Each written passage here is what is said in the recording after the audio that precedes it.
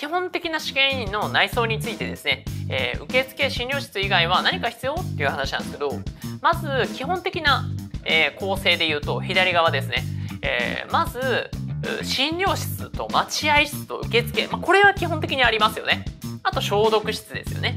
あとレントゲン室。あとまトイレですね、まあ、トイレは普通にね土地から建ててっていう場合は患者様用のトイレは絶対必須ですよね。で従業員用トイレに関しては患者様のトイレと併用するっていう場合もあるのでトイレは1つの場合もあれば2つの場合もあると思います。あと商業施設の中だったりすると商業施設の中にトイレがあるから別に作らなくていいっていう場合もあるので本当はちょっとトイレオプション構成の方に入れようかと思ったんですけどまあ一応ね基本の構成のところに入れてます。あと機械室。これもないとえ機械動かないんでユニットとかあのビクともしなくなるんで機械室も絶対必要です。はい。水すら出なくなりますからね。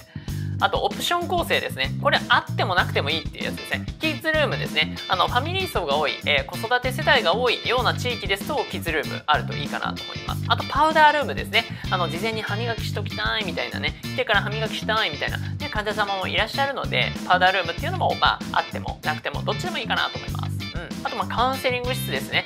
あのユニットで説明するんじゃなくてカウンセリング室であのしっかり説明したいっていう先生とかは、まあ、カウンセリング室あってもいいかなと思います。あとまあ院長室ですね。まあ僕は院長室いらない派ですけどまあ院長室あった方があの働きやすいっていう人もいると思うんで院長室もありかなと思います。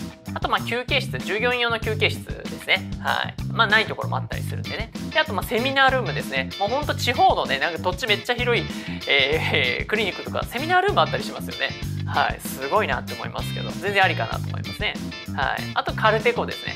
はい。あのカルテコは、えー、通路のところにね棚を置いてそこに全部置いてますって言ってカルテコがないところもあればカルテ専用の置き場所があるところもあったりしますね。あとまあ物置ですね。あのゴミとかね溜まったりすると置く場所とかねあった方が良かったりするんで、まあ、物置とかもオプションであったりしますね。